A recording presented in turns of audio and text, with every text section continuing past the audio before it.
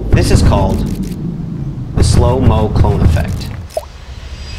And here's how I made it. On a tripod, record four to five shots of your subject doing jumps or running in different parts of the frame. Make sure to record a clean plate as well of the background. Record at the highest frame rate your camera allows, either 60 or 120 frames per second.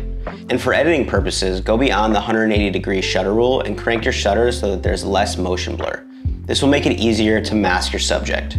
Bring all your clips into After Effects and rotoscope out your subjects. Make sure to include the shadows by adding a mask if necessary for a more realistic result. Render out those clips on a transparent background and bring them into Premiere Pro. Once in Premiere Pro, create a new sequence that is either 24 or 30 frames per second. On the first bottom layer, add the clean plate background. Then stack your subject so that it makes sense between foreground and background. On your main jump layer, open the time remapping on the clip create speed ramp points on your clip at the beginning of the jump and at the end of the jump. In the middle, slow your clip down to 5 or 10%. Now this is the most important part for smooth slow motion. Right click on your clip, go to time interpolation and select optical flow. Do this for all your clips and have them come in at different times.